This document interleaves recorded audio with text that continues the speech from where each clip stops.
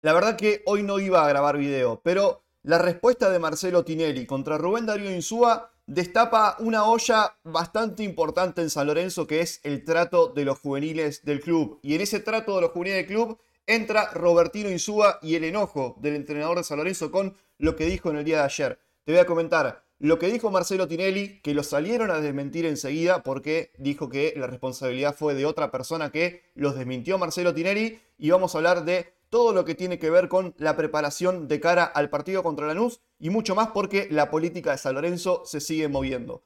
¿Qué tal, cuervos? ¿Cómo están? Nuevo video para hablar de San Lorenzo. Espero que se encuentre muy pero muy bien. Como siempre, les agradezco a todos los que se suscriben al canal. Es completamente gratis. También suscríbanse a mi canal secundario que es Bruno Alicata. Así que los espero suscriptos en los dos canales que saben que me dan una mano enorme. Y si le dan un me gusta a este video me ayudan un montón a seguir haciendo lo que hago. Y les recomiendo, como siempre, OneXBet, que es la casa de apuestas más confiable, con pagos garantizados y cuotas altas. Tenés un bono de hasta 130 dólares para primeros jugadores con mi código promocional que es Salorencismo. En la descripción tenés el enlace para ir y registrarte en la página y vas a poder disfrutar de este bono que te lo dan con este código que te acabo de comentar. Así que suscríbete a la mejor casa de apuestas que es OneXBet y les agradezco mucho a esta, a esta gente que banca al canal eh, nuevamente y como siempre jueguen con responsabilidad. Nos metemos de lleno con el video del día de hoy porque tenemos mucho para comentar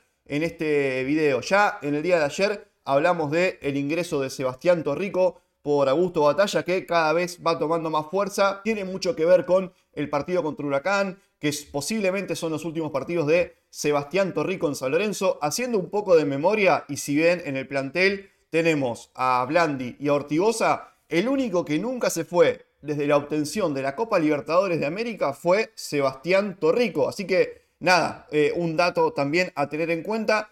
Para mí este partido contra Lanús es un poco preparatorio de Insúa para el clásico contra Huracán. Recordemos que estuvo en el clásico contra Boca y fue titular el Cóndor y San Lorenzo obviamente terminó ganando contra Boca. Así que eso por un lado del equipo y además en el día de hoy estuvo haciendo como un ensayo, como siempre hace Rubén Darío Insúa, vieron que siempre hace 15 contra 15 y bueno, va preparando, bueno, por el lado de los titulares de San Lorenzo, por lo menos los que entrenaron en el día de hoy y como te digo, fueron 15 jugadores y ahora te voy a comentar a esta hora cuál es el posible equipo y cuál es la principal duda. Entreno con Torrico en el arco, con Hey por derecha, Gatoni Zapata, Hernández, que es la fija de siempre, Braida por izquierda, Méndez con Jalil Elías, una diferencia al día de ayer, también estuvo Ortigosa, estuvo Maroni y también estuvo Martegani. Como te digo, fueron 15. Leguizamón, Blandi y Bombergar. ¿Cuál es la duda principal? Es la del perrito Barrios, que tiene eh, una lesión que lo apartó en estos entrenamientos y estuvo en kinesiología en el día de hoy. La lesión es una sobrecarga muscular, así que debería poder llegar a este partido contra Lanús. Un perrito Barrios que Insúa lo piensa un poco más. A ver, eh, de enganche, es decir, atrás de los dos números 9 como fue en el partido contra River en el segundo tiempo. ¿Se acuerdan que pasa a ocupar esa posición en la mitad de la cancha? Bueno, así que si llega a jugar va a estar por ahí. Corrieron algunos rumores de que al perrito Barrio lo quiere Boca. Bueno, no, no hay nada cierto en eso por ahora. Lo cierto es que todavía no renovó su contrato con San Lorenzo Almagro que vence en diciembre de este año. Y la verdad, cada vez le vamos a dar más relevancia en este canal porque preocupa y mucho esa situación. Entonces, este sería un poco lo que probó hoy Rubén Darío Insúa. El posible equipo que hablamos esta semana y a la espera de lo que diga mañana Rubén Darío Insúa sería con Torrico en el arco. Por derecha, Giai, eh, la línea de tres con Zapata, Hernández, Gatoni, como siempre. Por izquierda estaría eh, Braida. En el medio, eh, Jalil Elías junto con Juan Ignacio Méndez.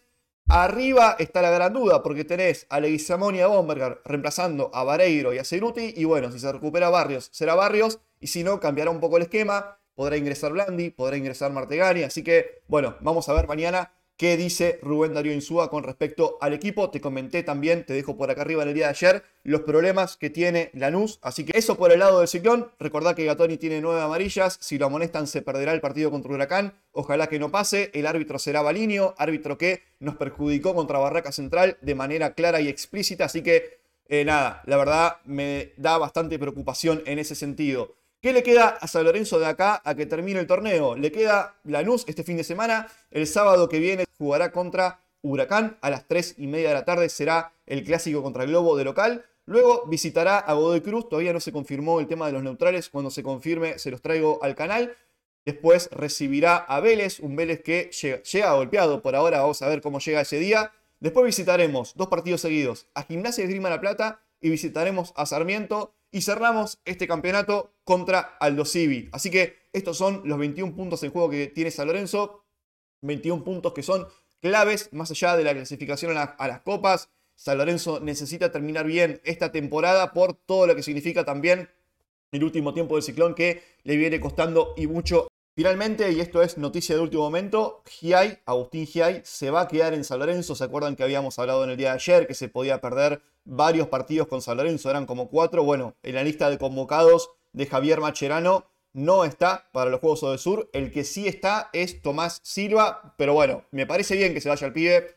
Está jugando Braida de tres. Así que bueno, nada, que tenga la oportunidad en la sub-20 me parece más que bien. Pero Giai se quedará. Por otro lado, San Lorenzo sacó a la venta la campera que estás viendo en pantalla. Pero no te hagas ilusiones, porque si bien la sacó en el día de hoy, no está ni en S, ni en M, ni en L, ni en XL, ni en 2XL. Y estoy haciendo clic porque estoy viendo a ver si eh, repusieron algo, pero ya se agotó absolutamente. Yo no sé si esto, y muy seguramente es así, la compra alguien y después la termina revendiendo. Y claro, eh, así después le sacan una tajada pero la principal responsabilidad y la principal culpa de esto es San Lorenzo que primero no controla, no se asegura que el hincha pueda acceder y el stock es limitadísimo para la demanda que tenemos los hinchas San Lorenzo. Por ejemplo, esta camiseta es lo mismo, no la conseguís por medios oficiales, sino que tenés que ir a comprarla mucho más cara a otros lugares. Entonces, eh, San Lorenzo tiene un problema de ingresos, San Lorenzo no tiene sponsor y tenemos un montón, somos un montón de hinchas que queremos conseguir la ropa de nuestro club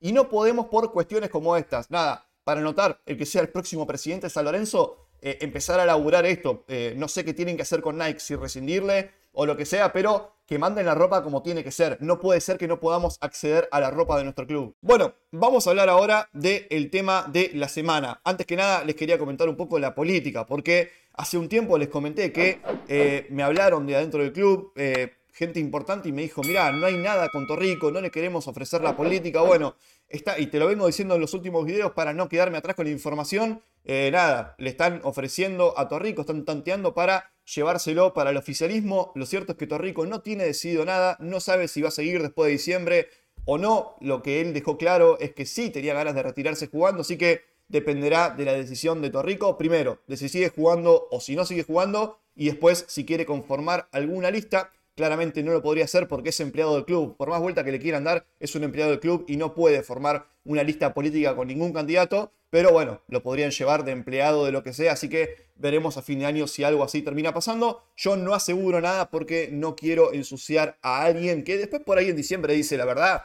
me voy a jugar a Arsenal, a Barraca Central o a donde sea, y sigue jugando y todo esto queda en la nada y se habló al pedo y se, y se ensució a un ídolo como lo es el Cóndor Torrico. La verdad que totalmente en vano. Bueno, ahora sí, nos metemos con el tema del video, porque Tinelli eh, le mandó un mensaje, porque él manda mensajes, él no sale a hablar directamente, a un periodista de TNT que es eh, Giralt, y dijo que él no decidió absolutamente nada con respecto a los hijos de Rubén Darío Insúa, que el problema no lo tiene con los hijos, sino de que lo trató de ladrón y que está enojado porque Rubén Darío Insúa lo llamó ladrón. Lo raro es que para defenderse, con respecto a los hijos, porque Rubén Insúa habló en el día de ayer y dijo que no se le agarraría nunca contra los hijos de otra persona, haciendo clara alusión a lo que hizo Marcelo Tinelli con, él, o por lo menos lo que Rubén Darío siente que le hizo Marcelo Tinelli, dijo que el tema con Robertino es ajeno a él, es decir, a la decisión que haya tenido Marcelo Tinelli. Recordemos que Tinelli en ese momento era presidente de los juveniles, era quien decidía eh, esa disciplina de San Lorenzo, y la determinación para Marcelo Tinelli fue de Cuyunchuglu y de Tocali mandaban el informe y como presidente del fútbol juvenil avaló la determinación de estas dos personas. Lo loco, lo loco es que Chuglu, que ya no está en San Lorenzo hace un tiempo, salió a hablar para desligarse un poco de esta pelea y de este, y de este problema y pateó también la pelota, porque claramente pateó la pelota y dijo que su informe con respecto a Robertino Insúa, recordemos que estaban los dos hijos en San Lorenzo, eh, Rodrigo, un lateral izquierdo, y Robertino Insúa. Que no por nada, cuando llegó Insúa a San Lorenzo, eh, empecé a ver un poco cómo jugaba el hijo Robertino Insúa, pensando que por ahí estaban en algún equipo más importante y en un futuro por ahí podría venir a San Lorenzo. Lo cierto es que es un jugador que se nota que tiene características buenas, que es un jugador que tiene una muy buena técnica. Vean videos de él, porque no se los digo por decirlo. La verdad que juega bastante bien, lo que sí terminó en ligas inferiores y Rubén de siente que le cortaron bastante la carrera, pero Chulu dijo que él dio un informe positivo de él y que para él tendría que estar en la primera y de hecho se fue cedido a Unión de Santa Fe. Es decir, desmintió lo que dijo Marcelo Hugo Tinelli que no se hace cargo por lo menos de lo que hizo. ¿Y cuál es la olla que se destapa que te comenté al principio del video? El trato a los juveniles. Porque un pibe como Robertino Insúa, que fue el que termina convirtiendo el gol del campeonato en aquel momento que estaba el Pampa Viaggio, en 2015 que le ganan en, la reserva a Belgrano y termina saliendo campeón. Bueno, tenía todo para estar en la primera de San Lorenzo en ese momento y se terminó yendo a préstamo y como te comenté recién, se terminó decidiendo lo que se decidió con él. El caso de Robertino Insúa, si bien le pega directamente al entrenador porque siente que hay algo personal con él, para mí estapa esta olla que es el trato a los juveniles. Como muchos juveniles en San Lorenzo que por ahí eh, se merecían el lugar por haber salido campeones, terminaron siendo tapados en muchos momentos. No fue gratis haber traído a Almirón y a Bragarnik y haber traído todo ese conjunto de jugadores que terminaron tapando una, una camada que fue campeona. Lo mismo pasó después en 2019 cuando, bueno, llega Pixie y tenías un montón de jugadores pidiendo pista para la primera, caso Gaich, caso también